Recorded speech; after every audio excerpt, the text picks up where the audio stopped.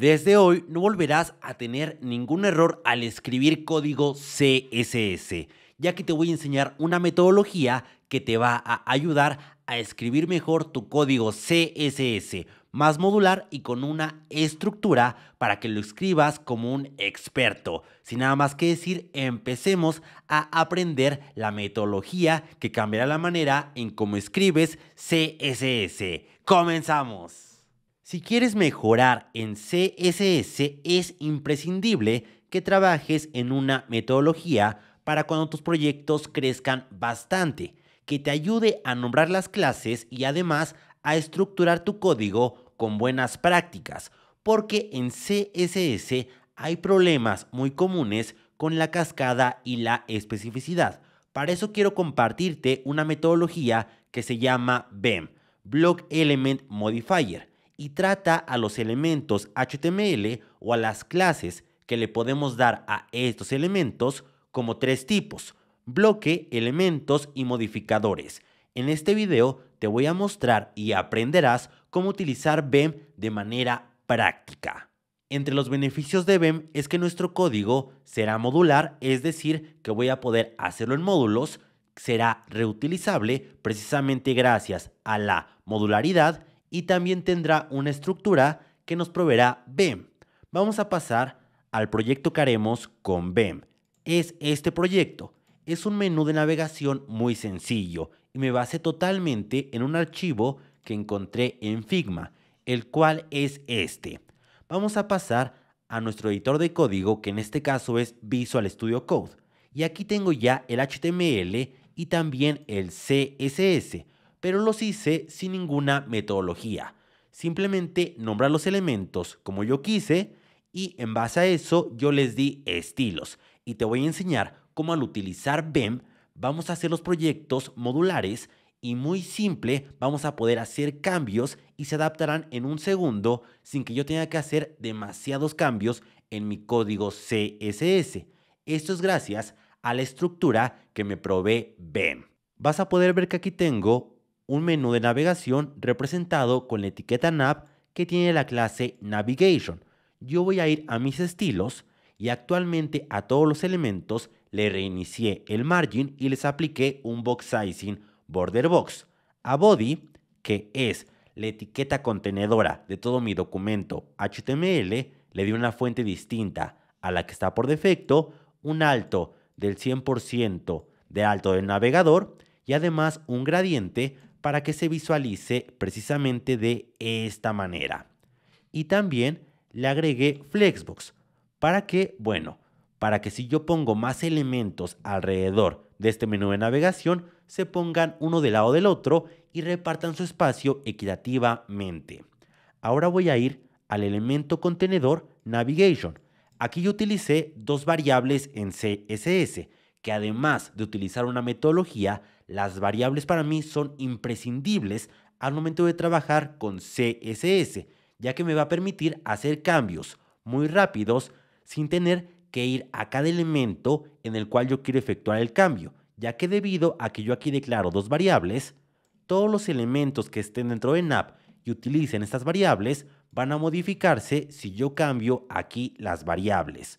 Por ejemplo, yo puse que el color primario del menú de navegación sea blanco. Si yo lo cambiara a azul, ahora todos los elementos dentro de este menú de navegación van a cambiar ese color.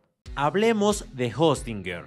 Hostinger es un proveedor de servicios web como hosting y dominio, en el cual podremos subir nuestros proyectos web y darles vida. Y vamos a ingresar a hostinger.com diagonal alexeg para acceder a un descuento especial. Incluso aquí viene nuestra imagen. Vamos a bajar y vamos a tomar un plan.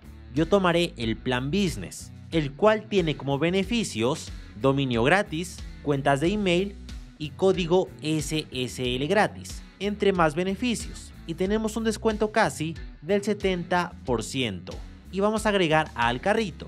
Y ahora vamos a adquirir el plan de 48 meses, equivalente a 4 años, pero voy a bajar un poco más. Y exactamente debajo del total voy a agregar un cupón de descuento, el cupón AlexCG en mayúsculas, para obtener aún un mayor descuento. Y ahora pagaremos por un plan de 4 años 3.455 pesos, un aproximado de 48 dólares por cada año en Hostinger. Así que si tú quieres subir tus proyectos a internet, ya sabes que mi recomendación es Hostinger.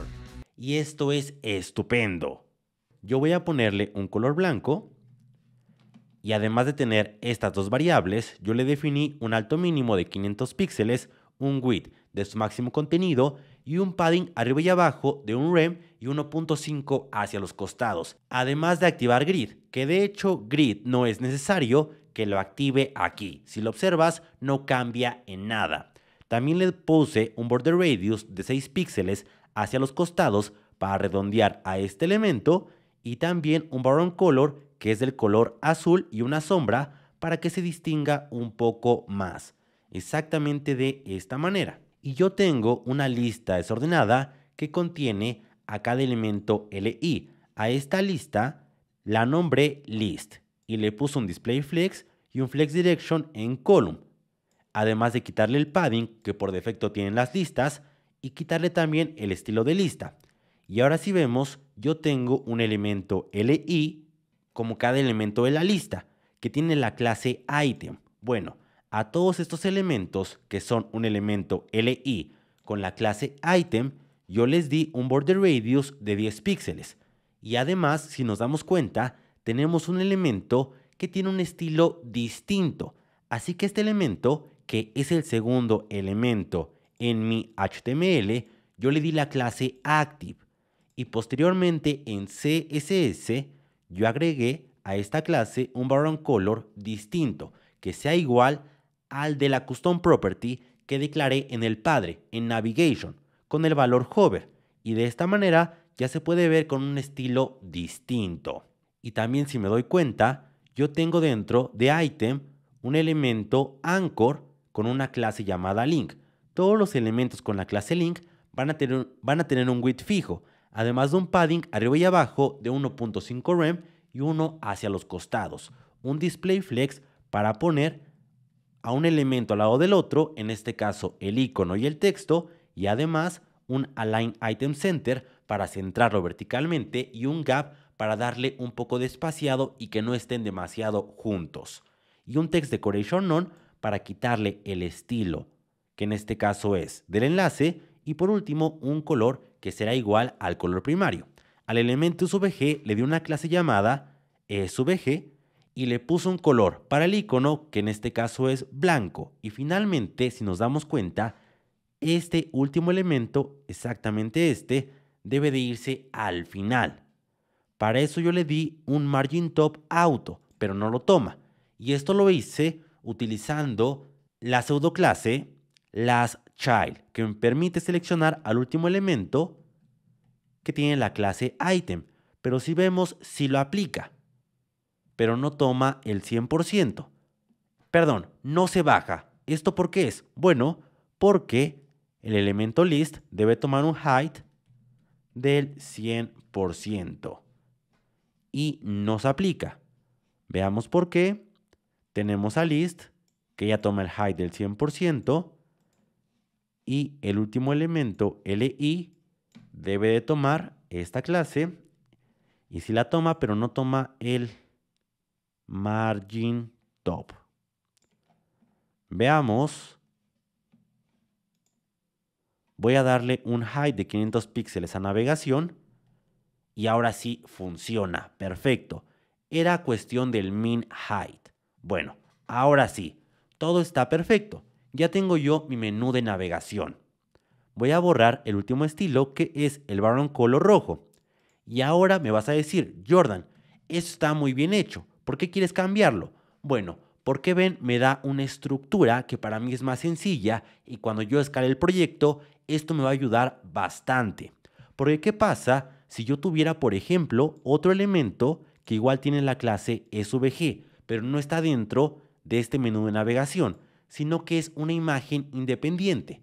Por ejemplo, voy a buscar en un draw.com imágenes SVG. ¿Qué tal esta imagen? Voy a descargarla y voy a pasarla aquí a Visual Studio Code. Voy a ponerle ilustración con ese nombre. ¿Qué pasa si ahora yo pongo, por ejemplo, una imagen que tenga la clase SVG? Porque este igual es un elemento SVG. Y voy a referenciar a esta imagen que se llama Illustrator. Bueno, si ahora yo veo, aquí tengo a esta imagen. Perfecto. Pero ¿qué pasa si yo quiero que esta imagen, por ejemplo, mida un poco menos? ¿Qué tal un width de 300 píxeles? Bueno, yo puedo bajar y puedo darle un width, por ejemplo, de 300 píxeles. Y ahora se rompe todo mi código, ¿lo observas? Esto es un problema, porque no hay una manera, por así decirlo, de que yo aísle las clases que están dentro de Navigation para que solamente se apliquen esos estilos. Y me puedes decir, si la hay, tú puedes poner un selector antes, por ejemplo, de este SVG. Y ahora sí la estarías aislando. Sí, pero estaríamos hablando de agregar más especificidad. Y por ejemplo, en un media query yo tendría que poner exactamente ese selector, porque si pongo solamente a SVG, no estaré afectando al elemento, al elemento dentro de Navigation. Y eso es un problema. Aquí entra una solución y son las metodologías, que en este caso puede ser BEM. Y realmente BEM es muy sencillo de aprender. Simplemente se basa en tres conceptos. Bloques, elementos y modificadores. ¿Cuáles son los bloques? Los bloques son entidades independientes para BEM, es decir, que pueden existir por sí mismas. Un ejemplo es este menú de navegación. No necesita de nadie para existir, puede existir por sí mismo. Por ejemplo, una galería no necesita de otro elemento de la página para existir. Por ejemplo, también un pie de página o la sección principal. No necesita de nadie para existir. Esto quiere decir que puede ser modular. No requiere de otro elemento para existir. ¿Qué no sería un bloque? Por ejemplo, una imagen. Si hablamos de una imagen, requiere, por ejemplo, una galería de imágenes para existir, o un enlace requiere de un menú de navegación para existir, o un título requiere de una sección. Pero básicamente los bloques es algo que es independiente en la página y no requiere de nadie para existir, y eso tú lo decides. Tú vas a decidir para ti qué es un bloque. Para mí un bloque en este caso es este menú de navegación, y los bloques pueden contener bloques dentro, no hay ningún problema. En este caso, voy a decirle a NAP que es un bloque. ¿Y cómo se nombran los bloques? Bueno, se nombran exactamente con su funcionalidad. Por ejemplo, este es un menú, puedo ponerle Navigation, pero yo voy a ponerle Nav. Y ahora estoy utilizando BEM. Voy a ir a los estilos y voy a ponerle aquí a Nav esta clase. Y estaré utilizando ya BEM. Y ya, esos son los bloques. Ahora, ¿cuáles son los elementos? Bueno, los elementos son totalmente dependientes del bloque donde existen. Es decir, para que haya un elemento debe haber, debe haber un bloque. Y en este caso, los elementos van a pertenecer al bloque padre que es nav. Por ejemplo, ahora este UL o esta lista desordenada va a ser un elemento de este bloque. ¿Por qué? porque esta lista requiere un bloque para existir. Es decir, los elementos no son independientes, son dependientes de un bloque, en este caso el bloque nav. ¿Y cómo nombraremos un elemento? Bueno, lo vas a nombrar primero con el nombre del bloque donde se encuentra. De esta manera podemos encapsular los estilos que solamente afecten a este menú de navegación y evitaremos el problema que tuvimos con la imagen. Después pondremos dos guiones bajos y la característica que define, en este caso, al elemento. Este es un contenedor de lista, entonces voy a nombrarlo list. Para resumir, un elemento se nombra primero con el bloque donde se encuentra, dos guiones bajos y la característica del elemento. Y ahora voy a ir al elemento con la clase list y le voy a dar esta clase. Estupendo. Después tenemos a estos elementos LI, que son totalmente dependientes del bloque, entonces pueden ser elementos. E de igual manera puede haber elementos dentro de elementos. ¿Y cómo se nombran? Bueno, pondremos el nombre del bloque donde se encuentran, dos guiones bajos y el nombre del elemento o su característica. En este caso para mí son items. Así que le voy a poner nap item y voy a cambiarle las clases a todos los elementos. Voy a pasar ahora a cambiar esta clase y si vemos se está viendo igual pero ahora con buenas prácticas. Y ahora vamos a cambiar también a este SVG o primero a este elemento link que como está dentro del bloque nap primero se llama nap, después dos guiones bajos y el nombre de la característica, en este caso nav link. Y vamos a cambiarla en todos los elementos. Aquí también, aquí también, y aquí también, y aquí también. Y ahora sí, debemos de cambiar los estilos CSS por nav item. No, debe ser nav link navlink y vamos a ponerle aquí la clase navlink. Aquí también, aquí también y finalmente aquí. Y ahora sí va muy bien. Por último, al elemento SVG. Voy a ponerle nav SVG. Y voy a hacer estos cambios para todos los elementos SVG. Y con esto ya tendría hecho el cambio para utilizar BEM. Lo cual se ve perfecto. Pero con BEM yo igual puedo nombrar modificadores. ¿Qué son los modificadores? Bueno, puede ser un bloque o un elemento, pero con una característica en especial.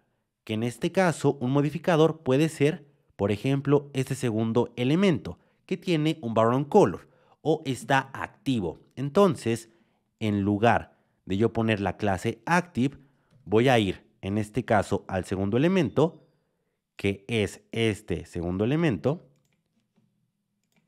este y voy a ponerle un modificador. ¿Cómo se crea un modificador? Bueno, primero dejaremos la clase, la clase que representa al elemento o al bloque, que en este caso es navItem. Vamos a dejarla, pero vamos igual a copiarla. Pondremos un espacio y la pegaremos. Es decir, tendremos, entre comillas, dos clases iguales. Porque esta segunda clase vamos a ponerle dos guiones medios. Estos guiones medios van a indicar que este elemento va a tener los estilos de item, pero vamos a agregarle un modificador, es decir, estilos extra, que en este caso puede ser, por ejemplo, el background color. ¿Y cómo se nombra un modificador? Se nombra precisamente con la modificación que queremos agregarle, que en este caso es active. Y ahora, si yo copio esto y paso a los estilos CSS, puedo reemplazarlo por la clase active y voy a darle el background color que ya perdí la referencia, así que voy a hacer control Z y simplemente voy a reemplazar esta clase. Y ahora si vemos es exactamente lo mismo, pero ahora estamos trabajando con una metodología que nos va a hacer la vida mucho mejor.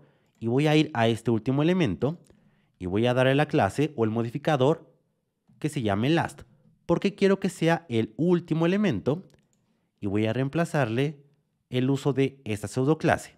Y ahora sí, ya estaremos manejando la metodología BEM. Todo lo que te dije viene en esta documentación yendo a getbem.com. Y ahora verás la ventaja. ¿Cuál es la ventaja? Bueno, de que ahora este es un bloque que puede ser reutilizable. Es decir, yo puedo ponerlo en otra sección. Por ejemplo, si yo lo copio y lo pego, ahora tendré dos elementos o dos menús de navegación, exactamente de esta manera. O por ejemplo, tres menús de navegación. Pero ¿qué pasa si yo quiero que este segundo sea de un color, por ejemplo, negro? ¿Cómo lo haríamos? Bueno, vamos a agregarle un modificador porque los modificadores son para bloques y para elementos. Simplemente vamos a copiarle esta clase, la de nav, y vamos a ponerle, por ejemplo, un nav black. Ahora quiero que este elemento tenga una característica extra, es decir, que sea negro. Y siempre pondremos los modificadores debajo de la clase original. Esto por la especificidad. Y ahora en lugar de que yo, por ejemplo, quisiera cambiarle todas las características copiando este estilo y después pegándolo e irlo modificando, ahora, como esta clase, la de nav, sigue en el elemento, solamente le voy a agregar características especiales a nav black. Por ejemplo, un background color que sea negro o 222. Y ahora se vería de esta manera y solamente será cuestión de cambiarle el valor de las variables en CSS. Por ejemplo, el color del hover, ahora quiero que sea, por ejemplo, un color un poco más oscuro. Y de esta manera ya tenemos este segundo elemento. Que de hecho aquí yo tengo los colores originales. Permíteme, voy a tomar el color para hover, que es este color. ¿Y qué pasa si yo quiero crear a un tercer elemento que ahora sea blanco? Bueno, le pondré el modificador nav white. Y voy a ir a nav white. Y voy a darle a nav white un background color que sea blanco.